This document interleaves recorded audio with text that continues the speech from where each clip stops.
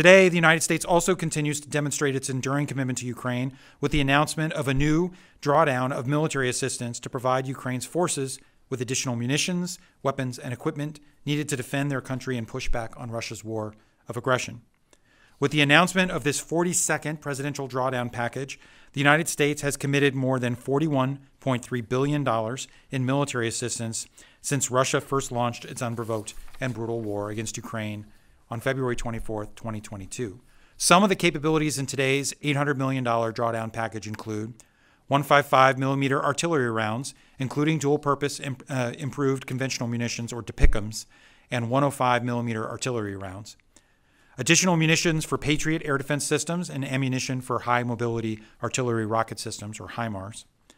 Additional Bradley infantry fighting vehicles, additional Stryker armored personnel carriers, precision aerial munitions, demolition munitions and systems for obstacle clearing, and various uh, spare parts and operational sustainment equipment. The DPICM rounds we will provide Ukraine have an extremely low failure or dud rate.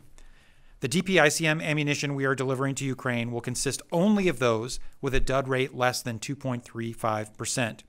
Compare that to Russia, which has been using cl- cluster munitions across Ukraine with dud rates of between 30 and 40 percent. We're working with Ukraine to minimize the risks associated with the decision.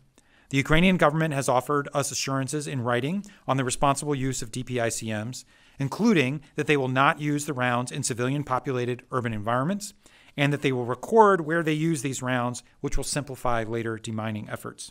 We have hundreds of thousands of these uh, rounds available below the dud rate threshold that I mentioned, but I'm not going to tip our hand uh, to the Russians about knowing what's coming and what volume when. I will say we're confident that with this inflow of DPICM in combination with the unitary 155 rounds we continue uh, to provide, uh, that the Ukrainians uh, will be able to sustain uh, the artillery fight uh, for the foreseeable future, which I said is not only important in the moment for the uh, counteroffensive, but to signal to Vladimir Putin that he can't just outlast the, the Ukrainians.